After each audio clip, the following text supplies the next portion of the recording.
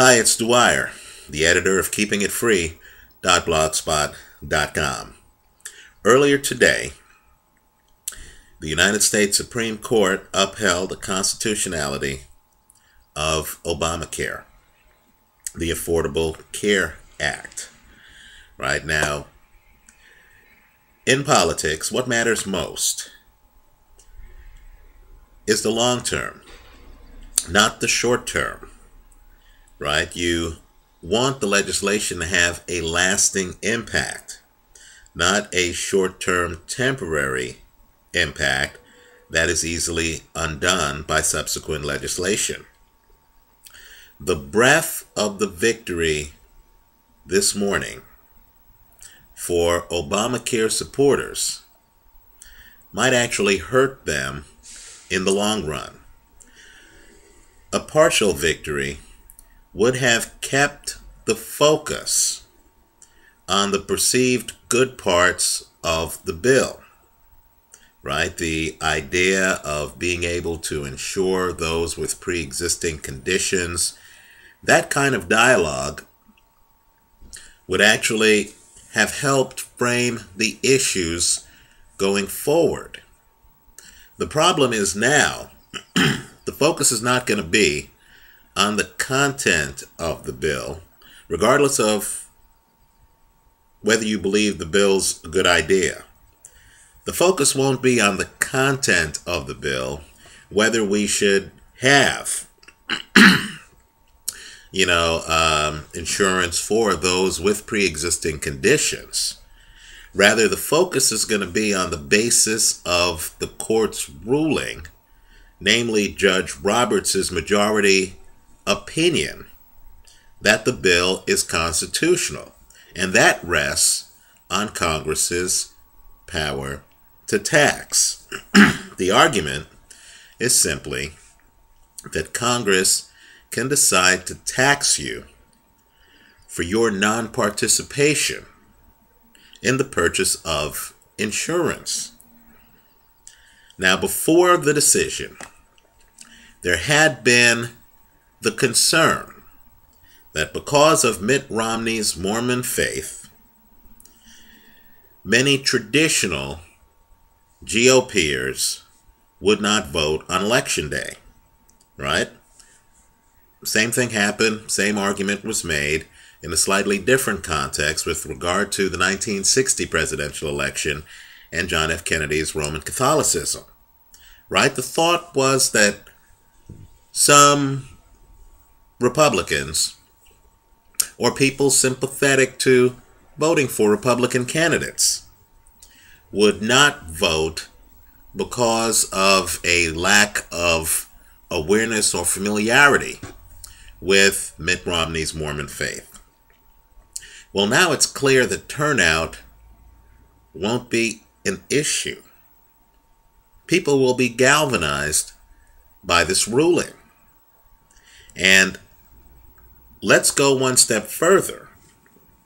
Understand that equating Obamacare with the power to tax is so politically unsavory that even the administration's own lawyers, in their oral argument before the Supreme Court of the United States, chose instead to emphasize Article 1, Section 8, the Commerce Clause, instead of the power to tax, in arguing for the law's constitutionality.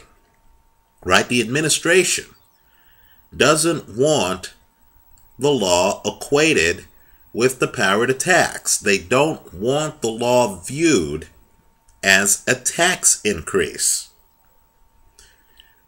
Well, because of Roberts's decision, it has to be.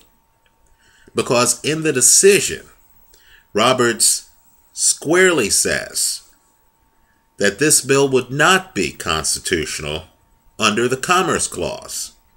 Rather, the bill is only constitutional under the power to tax. So that opens the door now, and it's a wide opening for Republicans, not just Mitt Romney, but Senate and House candidates, to argue that the American people should not be taxed for decisions to opt out of buying products, goods, and services from private suppliers. Right? I believe that's a very powerful argument. The argument, the dialogue won't be over whether or not health care is a good idea. Rather, the argument will now be couched as whether or not Americans should be taxed for their non participation in buying insurance.